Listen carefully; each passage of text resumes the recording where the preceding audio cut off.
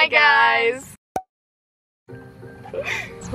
just walked out the door. How y'all doing today? Sara. We're doing a drive with me today and it's like, I didn't even check the time. It's 6.50 but it's already dark. Also, sorry about the really loud golf cart. Oh, and all the bugs are going to be coming over here. Uh, yeah, that's what I was just looking at. So I hope you guys enjoy this great video. It's going to be great quality. Lighting Wait, now. okay, this is okay lighting. Also, a person just passed us.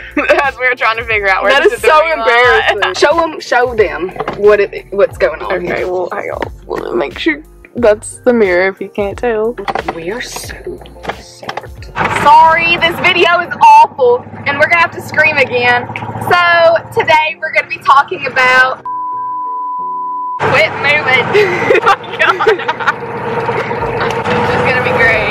This is gonna be the best video you've ever watched. There is many reasons we dropped her. Like, a lot. First of all, we caught her in many lies on multiple occasions. Yeah, just speak louder. First of all, we've caught her lying on many different occasions about many different things. Also, the next story we're telling is like the main reason we stopped being friends. Actually, like it was like the breaking point. That's very interesting. So this story and the next story kind of like go together a little bit. She was just a very manipulative person, and she just said like a lot of lies. She created a lot of like problems within our friend group that didn't even happen. Do you remember that time that she told you and Kenzie or you and Carly one that I was mad at y'all and we were on the Yes. phone with each other? But anyway, yeah, that was not That was cool. so bad. And it was over like a group chat with me, my guy friend that I'm still friends with to this day, and another friend, but we're not like as close. And we had a group chat, and she was telling us that everyone in the um, group was like mad at us for having a group chat. A group Yeah. chat. Like, I, okay, I didn't even care that they had a group chat and we're talking because, like, why would I get mad over that? Are your legs gonna be long enough to hold the guy I'm probably not my arms. I'm so sorry. I'm like five feet. Well, I'm a giant. I'm like five seven, so I have that issue, but I have a lot of other issues, such as not being able to wear high heels a lot because guys get insecure. At our middle school, there is this thing called Builders Club, and me and one of the other girls out of our friend group at the time was in Builders Club together. And basically, in Builders Club, we go to the elementary school and help out with the elementary school kids just because I guess we wanted to. and we were going to get on the bus from like, I don't know what period was it. I think it was the fifth or It was either fifth. We are eating lunch, so would it be fourth? Oh, In middle school, I think it was fourth. yeah. Okay. Well. Anyway, there was sometime during there, and we were leaving to load the buses for Builders Club because we got done eating lunch. Me and the girl that I was friends with walked past the lunchroom door, and we always sat right at the table, like right in line with the door, like you could see our table from the door. And we walked past, and they're all sitting over there with this girl, and like all of us have already established that we don't like anymore and we're not friends with her anymore. So like you can imagine when we saw her sitting over there, we were like, um, excuse me. Second of all, I just found out I don't like this girl anymore. So then I kind of went off. at the time, so we had like four people there, including her. It was me. I'm gonna have to bleep their names, but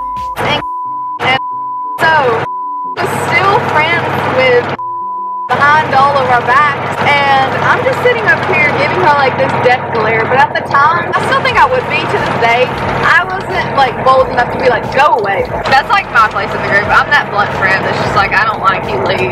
They were all like, they've gotten better about it, but back in middle school, they were all like really nice and didn't really have a backbone for nothing. After that day, Also, one of the people who were over there who supposedly didn't like her was like, we should have a sleepover and just not tell them. And I was like, like not tell me and the other girl who's in middle school. and so I told her because we have, I mean, like, we, we were like really close, but I felt like we weren't as close as we were past at the time, but I still told you. Yeah. And I was like obviously like really angry about it. Because like, okay, if you tell me that you don't like somebody and you don't want to talk to them, be friends with them and what an awful person they are, then you want to go and have a sleepover with them, like gives me red flags everywhere. I think maybe we should move to the next topic. Look how long this already is. That's the end of this topic. Look at that car behind us. So bad. I'm an idiot. I had the burp, sorry. So, next we are going to be talking about Chris. I'm not even going to bleep his name. If you're watching this, hey.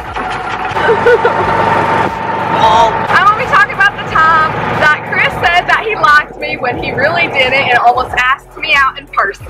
He had liked one of my best friends for a really long time. And we were, no, I was having a sleepover with Ross And he just texts me out of the blue saying, hey. Then all of a sudden he starts talking about how he likes me and stuff. And I'm like, huh?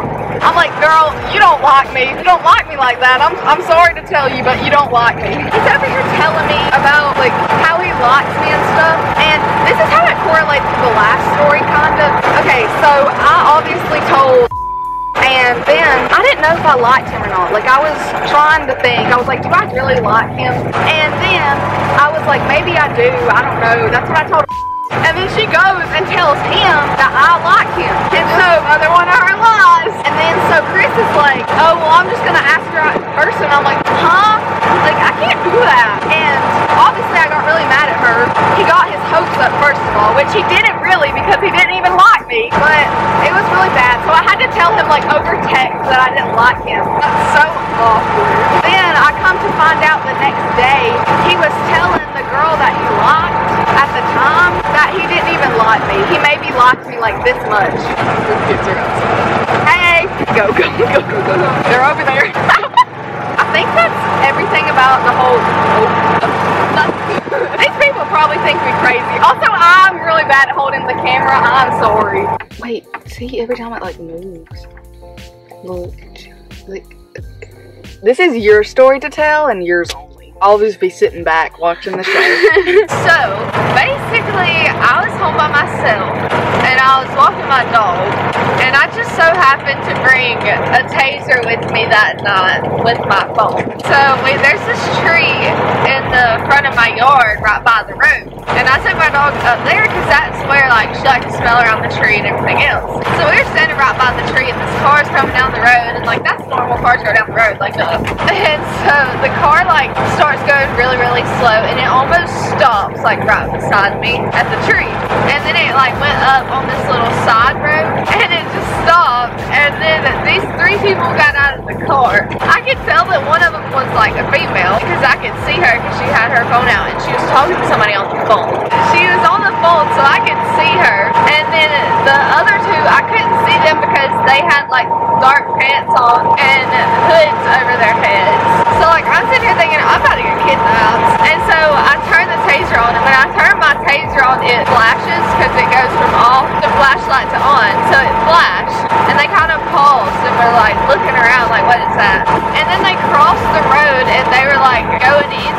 They were in the middle of my ditch. I took the taser like by my head and I zapped it twice, and then they went back on the road, and then like I ran to my house. Like even though like if my dog's a pit bull, even though I have my dog and a taser, I ain't trying to die. Is that it? Yeah, that's literally it. Okay, do you have a problem with that, Sara? We're gonna call him Billy. Oh, it looked like you got whiplash. This isn't that bad, I don't think. We don't know. We don't really know what to call it. Yeah, I, li- I like to just think that I was being dramatic. It's really not that bad, I don't think. Actually, comment down below if this is bad because I really don't know. Okay, we can start off first by saying back during this time when this happened, we were pretty good friends with this dude. Pretty good friends with Billy. Um, we at the time, like, I feel like we were being a little bit dramatic over it, but like that's for you to judge. Okay, so the first one that I can remember, do you guys like my pants?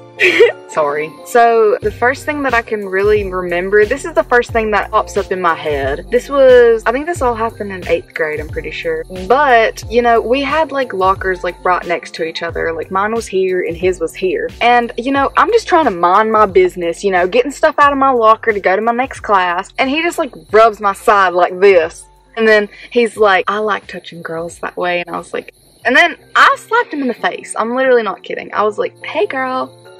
Like, I'm not doing this today. And then this stuff was all in the same day. And I thought that it would go on for longer, but it only happened for like a day and he just kind of stopped. And it started with this. So I had Doritos for lunch and also the jokes at lunch. At lunch, he always with everything. It didn't matter if it was a sandwich or yogurt or like cheese sticks, like literally anything. He would make a sexual joke about it. Like if you ate yogurt, then like he would act like you were like, Mm-hmm. you know, if you And- don't get it, you're not old enough.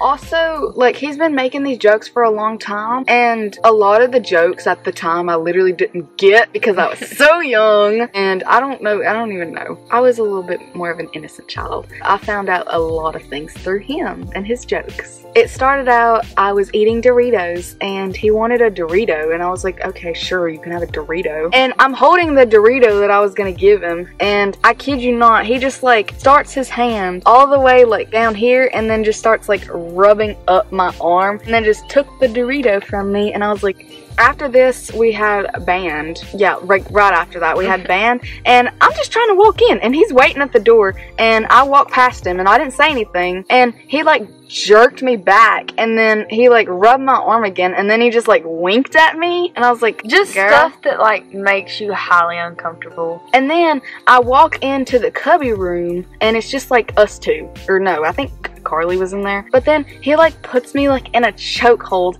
and I didn't really know what to do in the situation because I was like, um, hello. So my first like instinct is to like bend down and go around and I think you know what he was saying. Cause like when she bent down, like Obviously. her butt like pushed into him, Yeah. but like she didn't mean it like that. She was Yeah. trying to get out of a chokehold, which he shouldn't have put her in in the first place. I think that's all that I can remember at the top of my head. There's probably more stuff that happened. My brain just can't remember it. The only thing that happened to me as far as with Billy was that we were playing volleyball and we both went to jump for the ball and his arm like went under, brushed up against my boob and came up inside between my hands. But I'd like genuinely think that was an accident because we were both jumping for the volleyball. So like I will give him that. But still the sexual jokes about like when we're trying to eat lunch and stuff like that and just unnecessary comments and looks. I think that's a little excessive. We don't really know what to call it. Did you hear that?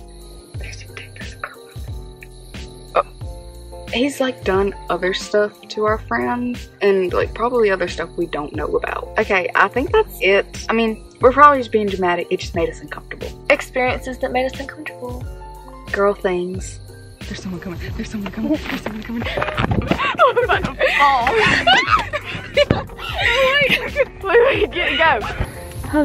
Oh, Okay. that's um. Hold on. Great. Um, That's I what don't I'm care. saying. We don't have to have the head. Cause I can go Girl, like, that's a little bit too close. like here. yeah, that's good. I really don't care if you like flirt with other people, honestly. It was just like almost like it was almost like I had a fear of being replaced because of how well you two got along the first day. But yeah, I have a fear of abandonment. And I already told him that and he reassured me many times that he was never gonna replace me. I'm very sorry for being like that. It's not my fault. Well, it is. I'm just scared that you're gonna replace me and never talk to me again. Moral of the story, I was scared you were gonna replace me.